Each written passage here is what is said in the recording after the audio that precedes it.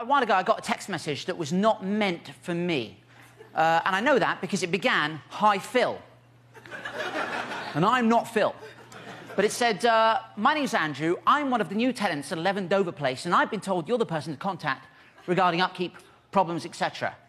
And uh, I was like, uh, obviously got the wrong number, so I was, I was like, I'm not actually, but I was just composing another message explaining to him the fact that he got the number wrong by a digit, and I was not, in fact, his landlord. Uh, but before I had a chance to send it, he said, Actually, you are.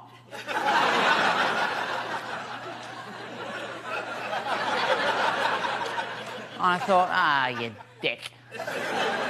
He said, according to the leasing agreement, you're responsible for looking after 11 Dover Place from a maintenance perspective. And from my perspective, which it has to be said is, is, is not one of maintenance, there was nothing I could do. My hands were tied. I said, my mistake. How can I help? Phil.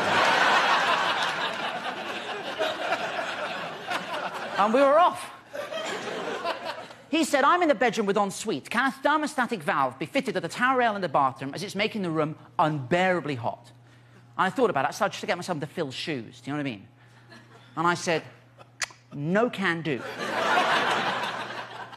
but I'm having my builder come round on Wednesday to remove one of the windows. This should stop the bedroom overheating. he said, uh, he said, uh, Hi, Phil, I'm at work on Wednesday. Can you clarify what you meant when you said you were removing a window? I said, I'm not removing a window. That would be ridiculous. I'm getting a professional to do it. we should achieve a nice summer breeze to combat the towel rail heat.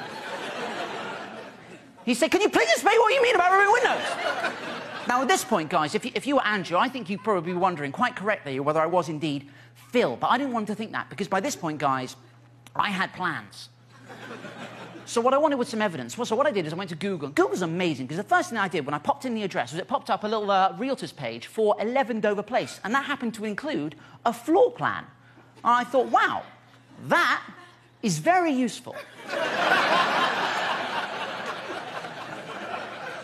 Because that enabled me to send him this. I said, look, I said, the plan for Wednesday, watch very carefully.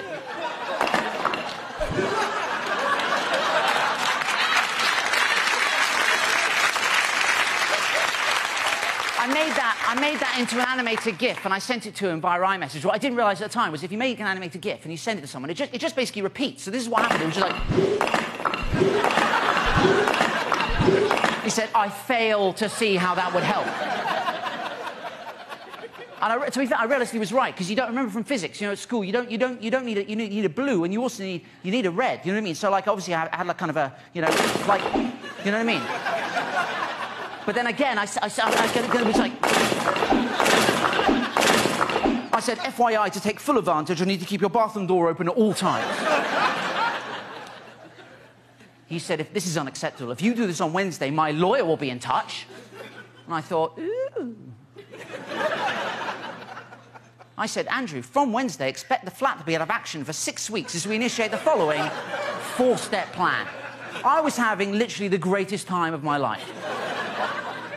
Step one remove all four walls.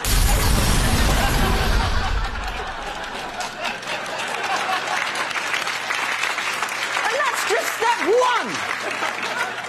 Step two expand bathroom. Step three isolate towel rail within refrigeration dome. Step four counteract remaining towel rail heat with tower of ice. I've just spoken to the real landlord, so you can knock it off.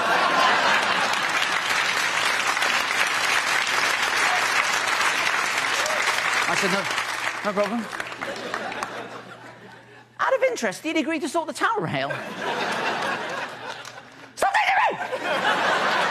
I said, go on, did he?